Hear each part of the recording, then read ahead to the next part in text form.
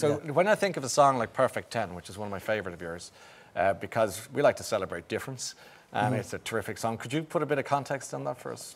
Yeah, I, when I wrote it, I sort of wrote it in my head, and I, I was think I was just thinking about the the words or the expression "perfect 10 and just how limiting it was, and how narrow it was, and how I wanted to say in song that you can be more than that or less than that. It doesn't matter on your size. I just want you know somebody I can love, and that's what it was about. And and people, uh, I didn't realise, but people really identified with that. Yeah. And people came along to the concerts, and it's another song that they like to sing along and uh, feel as though it could be about them uh, in different stages of their life or whatever. But, Love it, yeah. love it. Let's hear a bit of it. If you don't mind, do you want to hear more of this? Uh, of course you do.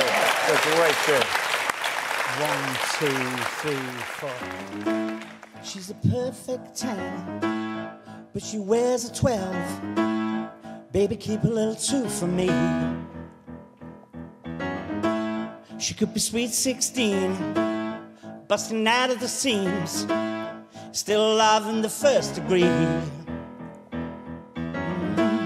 When he's at my gate with a big fat A, you want to see the smile on my face.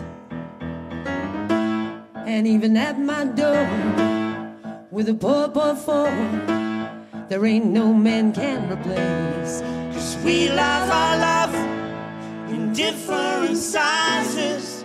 I love her body, especially the lies. Time takes its toll, but not on the eyes. Promise me this, take me tonight.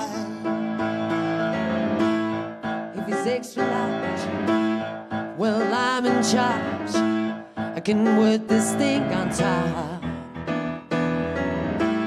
And if he's XXL, well, what the hell? Every penny don't fit the slot. Cause we love our love in different sizes. I love her body, especially the lies. Time takes its toll, but not on the eyes. Promise me this, take me tonight. Yeah. Oh, you're in fine voice. You're in fine voice.